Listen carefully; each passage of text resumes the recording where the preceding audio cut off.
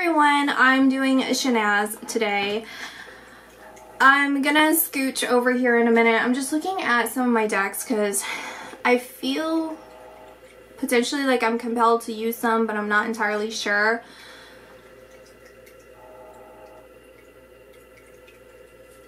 What I'm hearing is there there's there's a card in here specifically that they're showing me Mm, and it, it's it's actually enmeshed between the top and the bottom. So I don't know if there's a card that's exactly this. It says, listen only to love and stay true to yourself.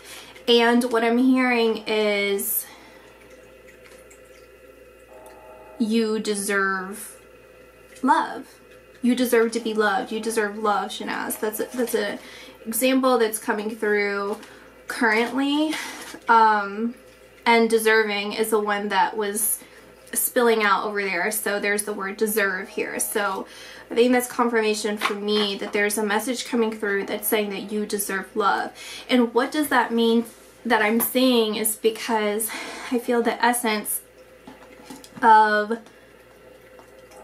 potentially Siddharth. I mean, this I would say this confirms it too, the Ace of Cups, which is coming out right here. So it's confirmation that Siddharth is coming through and saying, it, I want to be clear that it's not that I see him and he wants to make this clear because it, he doesn't want, so I'm, I'm switching it as if I was talking to you, Shehnaaz.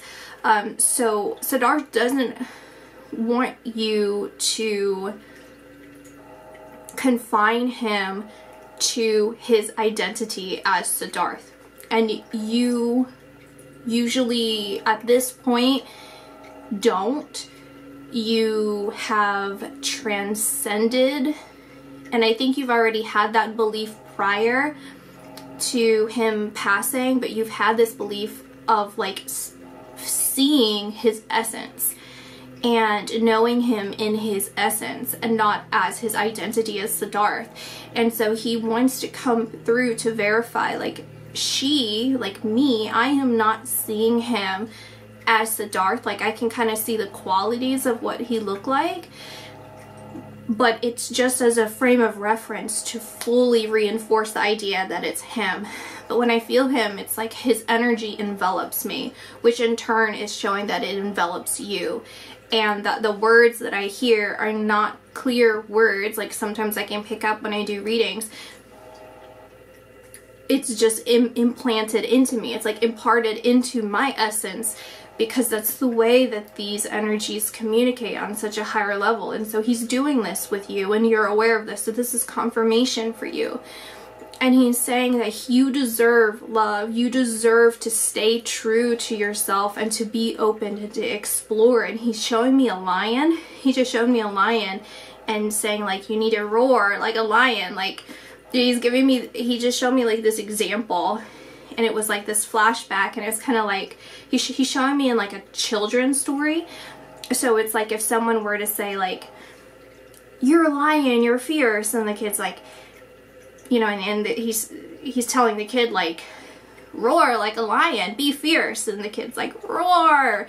And he's like fiercer you're strong roar and then the kid's like ah like that and he's like, go, go, explore. You deserve to explore the world. You deserve to just stretch beyond your imaginations and your wildest dreams. You deserve to have that. You deserve to be that. You deserve to live a life that is full of joy and full of imagination and exploration of every single confines of your mind and of your identity and beyond that. You deserve that. You are entitled to that. You are pushed to do that. I want you to do that. You have my blessing. You have my authority, which you don't ever need my authority. But there's this part of you that goes back to him to see if like, is this really okay? Because he's indicating how there's pain that's associated with his passing where it's like you love him so much and the time that has progressed, it's like now it's been three months, now it's been eight months, now it's been a year, now it's so on and so forth. And that's an indicative of of the time that you've spent away from him. It's like, I don't really want to progress. It's, this is, I hope I can like really explain how I'm feeling, but if this were to resonate with you, then you would know exactly what I mean. Where, and I think anyone who has lost a loved one can relate to this in a lot of ways where it's like,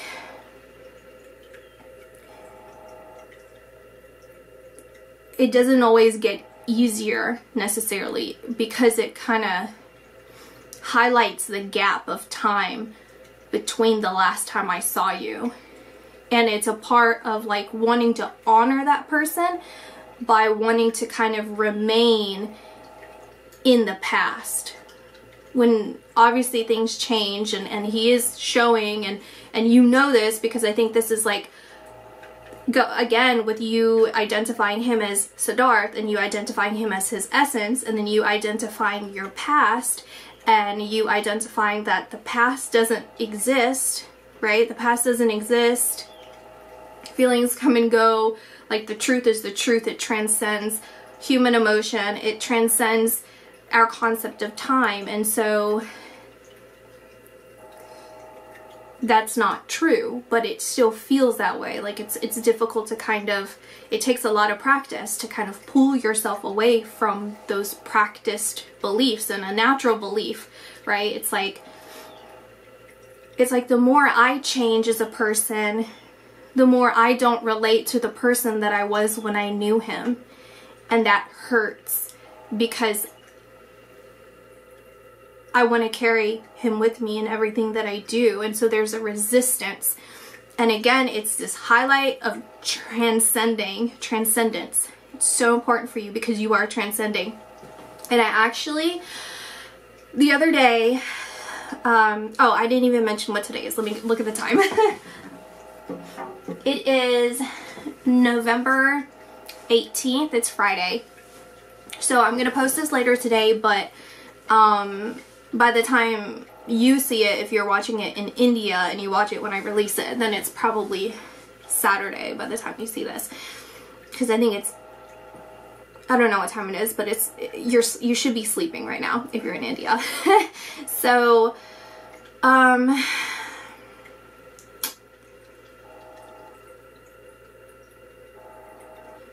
the other day when someone asked to do a reading on Shehnaaz, the first word that I got was Bodhi, Bodhi, B-O-D-H-I. And was like highlighting her, highlighting her, highlighting her. Well, let me switch back as if I'm doing the reading for Shehnaaz. So it was like highlighting you and that word. And I looked it up and it talks it, it's named after I think it, I'm not sure but I saw Siddhartha and I was like oh my goodness that's another confirmation right there um, I, it actually completely slipped my mind, but it came back now. And it was also like that's what you're experiencing, like those final stages of enlightenment or, you know, like realization of like, like, I don't know, full, full awareness. And then I got an image and I'm getting the image again of you laying down. I don't know what it what the technical term is, um, but they call it like corpse pose. So you're like laying on your back and your hands are up, and I'm envisioning you doing this, and then like your aura, like there's a light that's surrounding you, and there are people looking at you. There's a bird that's trying to get into my window. So that I was actually telling my uh, dad earlier today because there was a message coming through to him earlier today and there was a different bird, a different bird kept coming to two, two or three of my different windows and it was trying to come in and I told him, I said, every time that I ignore a message or if someone else is ignoring a message, there's a bird that always tries to come into the window and that's confirmation for me.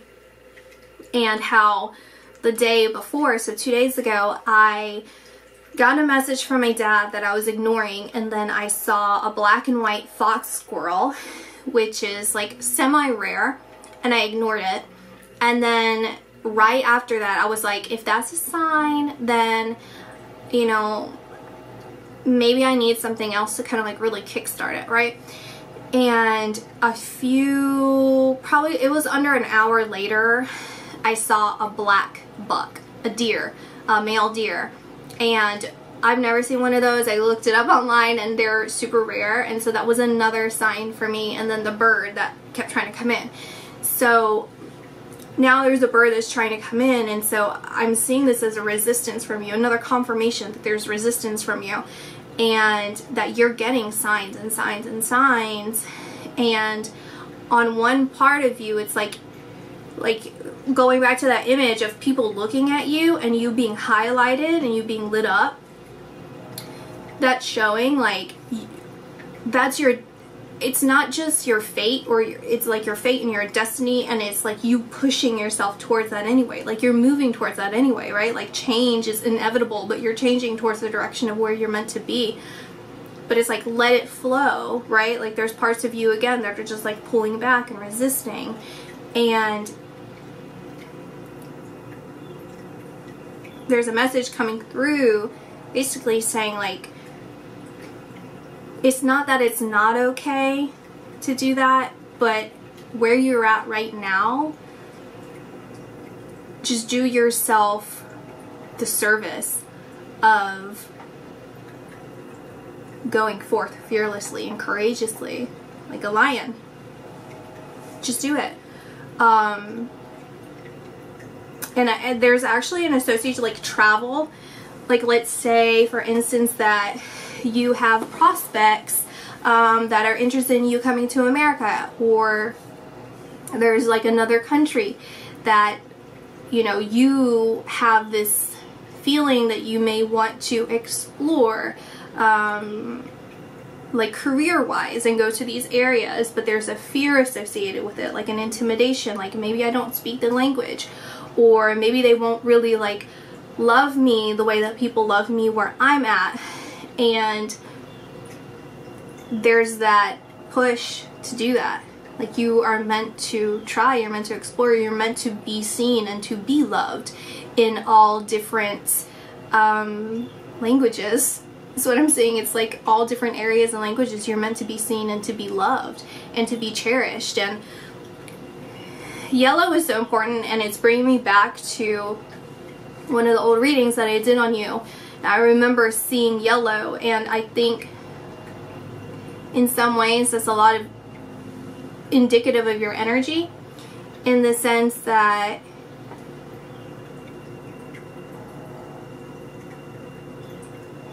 like I'm just relating it back to a lion. Like the lion is fierce. It's intense. It's strong. And the sun is fierce intense strong intimidating when you get up close to it. Um, you know, it, willing to just be and like speak out. Doesn't hide, right? It like shines a light um, on everyone and people who are comfortable in the shadows are uncomfortable around the sun, right? And it's cheerful, it's beautiful, and it's a life force is what I'm saying is it's they're showing me the sun and how it's like such an essential part of growing and nurturing earth. And so it's like your light is essential your energy is essential. You you how much longer do you think you can contain your energy the sunshine in your hands. Like how long do you think that that can happen? It can't happen much longer. Um, you're gonna burst out of there. So so please like take this blessing, take this message, take this opportunity and just allow, allow yourself to be. And then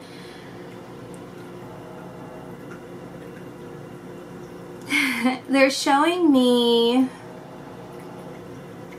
they're showing me Princess Diana and how she is known as the people's princess. And I look and I'm like when I because I'm aware that I said they. And so I'm, I said to myself I'm like how do I explain who they is? And then I, I to in a more clear way. And I saw my guardian angels and then I saw Siddharth and then it like zooms me out and I could see, and by seeing it's again their essence, so I could just feel their presence. And it's like,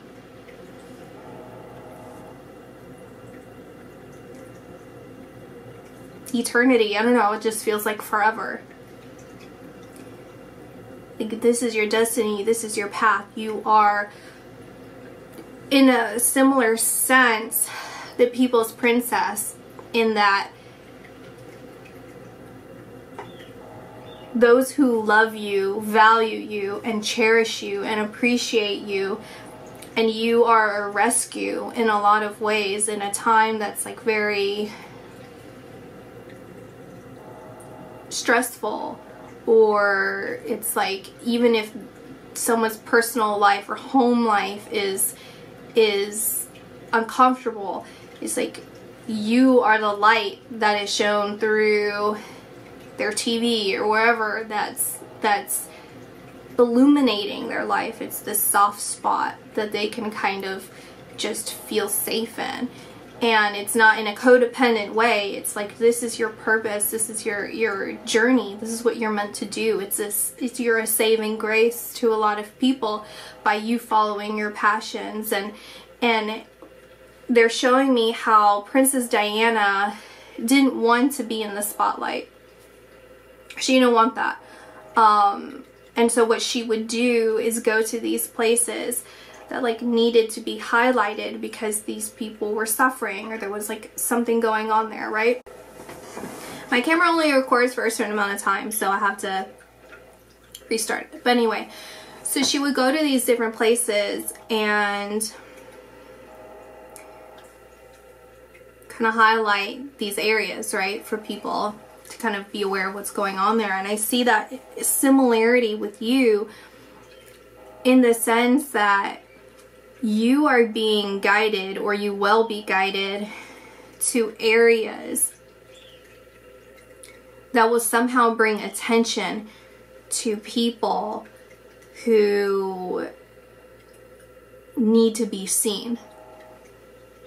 The difference is your calling is to be a celebrity, is to be in the spotlight, is to enjoy your life and to enjoy being out there. But that sensitive nature in you, that loving nature, nurturing nature in you is is to be a focus and to be cherished. Hope this is making sense. So you're supposed to be traveling somewhere, um, multiple places.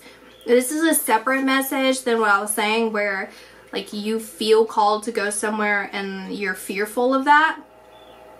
That is part one. Part two is you traveling to different places and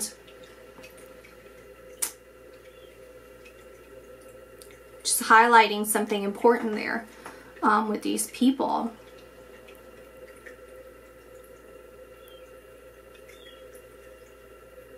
And I'm seeing you in purple it's like a purple dress or a purple shawl and it has like little glitter, like spots all over it, like yellow glitter, glitter, like something like that. It's really pretty. Um, I'm seeing that. We have light beings, soul name, color. Okay. And I heard, um, this is what's peeking out. I heard whenever I was pulling this, um, why are you, see it goes flying. Anyway, um, why are you pulling from this when you already pulled it again? It's going to be the same message and then the same messages came through um, because it, it's the same thing. Um, which is essentially like with light beings, yeah, I, I usually see this as like literal in the sense of like aliens, but this is reminding me of something else that I saw with you where I see like your brain it's literally splitting your brain up in my head. So I'm seeing it split down in the middle and then it's like your frontal lobe, your parietal lobe, left, you know, all that. And it's showing like each lobe or each part of your brain getting lit up, lit up, lit up, lit up, lit up, lit up. and then there's like a like an energy above it, like your crown chakra.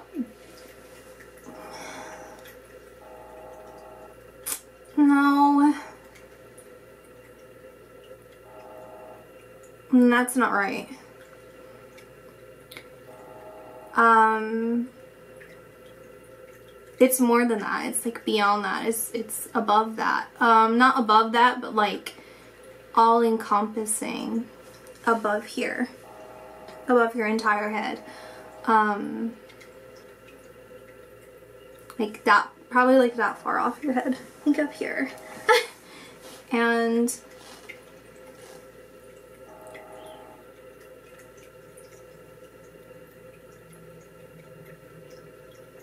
they're basically saying like you already know all of this. The only thing that's kind of like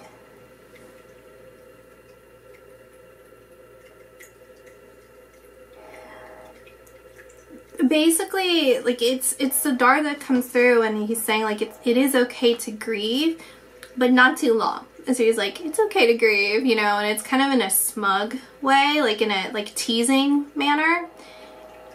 Um, you know, it's kind of like almost like arrogant, but like a teasing arrogant. Like, I know I'm so great. Uh, you love me. I'm so amazing. I'm so awesome. like all of these different things. It's like that, but then he's saying, but not too long. Like, you don't have to grieve too long. Like, you know the truth. You know what's going on here and he's bringing me back to a time and he's showing me you guys like laying in bed it feels or you're like you're laying on your backs and you're like snuggled up to him and it feels like he's talking with his like left hand mostly and he's like pointing up so you're laying on your back and then I can see like around me it's like there's like black objects or like contrasting objects.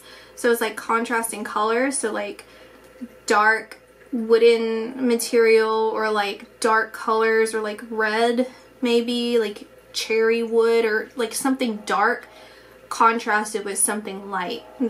There's like wherever you're at, that's what I've been seeing. And he's pointing back to that conversation and he's not telling me what's in the, what the context is, but he's just like, do you remember that conversation? And he's like pointing up, like in that conversation, you guys are like snuggled. You're like nuzzled into him and he's talking and looking up and he's looking at you.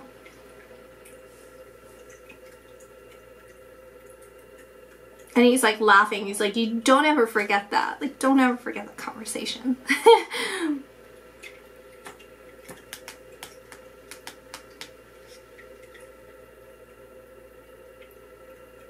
and they want me to point out the heart on this.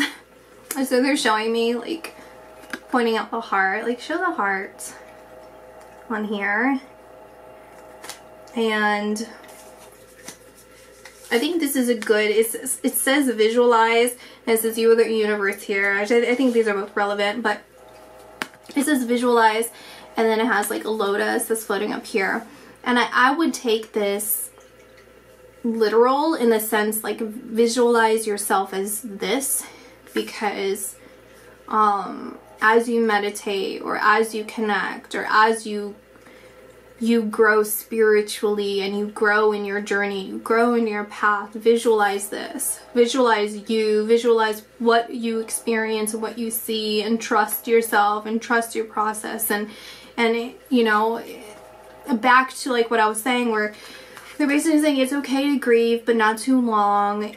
It's now time for you to really take your place in this path and like start walking. Like you, we don't have to hold your hand anymore.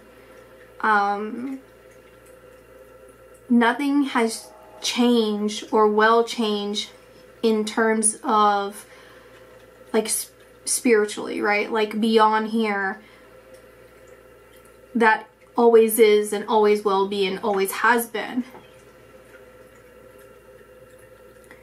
So so allow yourself to just enjoy right now. courageously, fiercely, self assured.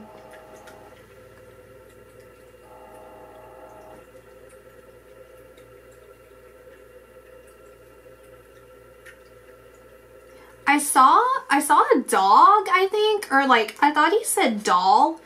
Like it'll always be my doll, but then I was like, is that a dog? And then I saw a dog or like a, some animal that's like black and white in spots. And I think that's a theme here because I brought up the black and white animals that I saw.